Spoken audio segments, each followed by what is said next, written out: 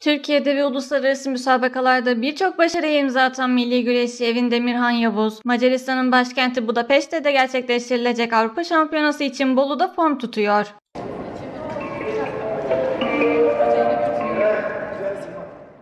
Ulusal ve uluslararası şampiyonalarda 17 madalya kazanan Yavuz, 2021 itibariyle Türk kadın güreşinde Avrupa ile Dünya şampiyonalarında en fazla madalya elde eden güreşçi olmayı başardı.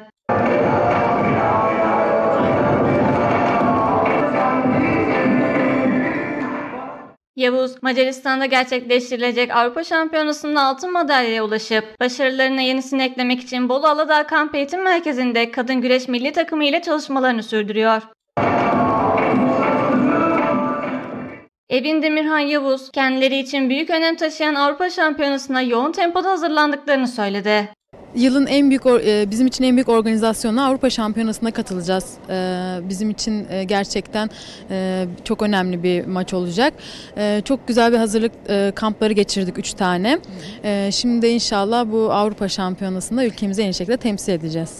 Güreş gerçekten çok zor bir spor ama sevdiğimiz için bu işi de hakkıyla yapmaya çalışıyoruz. Bizler mil takım ortamında hazırlanıyoruz ulus- uluslararası müsabakalara ve kamplarımız genelde 3 hafta ile 4 hafta arasında gerçekleşiyor. Yavuz, Avrupa'da başarı beklediklerini belirtti. E, Genelde 5 gün içinde çift antrenmanlarımız oluyor. Bu çift antrenmanlarımızın da minimum e, bir antrenmanın saati 2 saat oluyor.